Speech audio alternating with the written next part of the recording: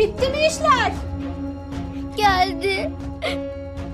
Geldi. Ne yapacağım ben şimdi? Kız Ayşegül sağır mısın?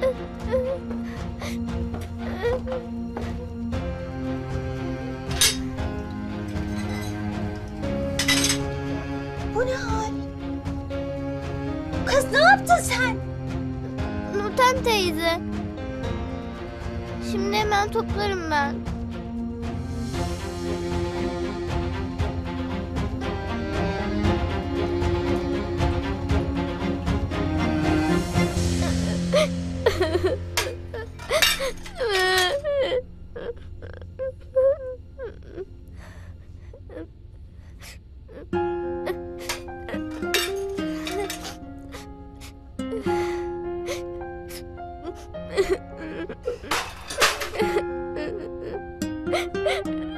Ağlama be ağlama.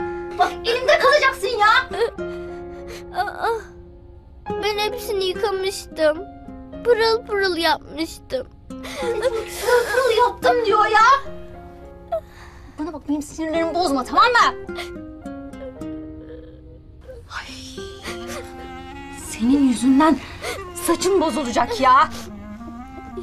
Ya kafam tam rahat diyorum. Ya senin bir de zarar ziyanınla uğraşıyorum be. Ama ben... Bana bak. Ben senin anan değilim tamam mı? Senin dağınıklığınla uğraşamam. Tertemiz edeceksin buraları pırıl pırıl. Yoksa sana yemek falan yok. Duydun mu beni? Kız gıkın çıkmayacak. Duydun mu?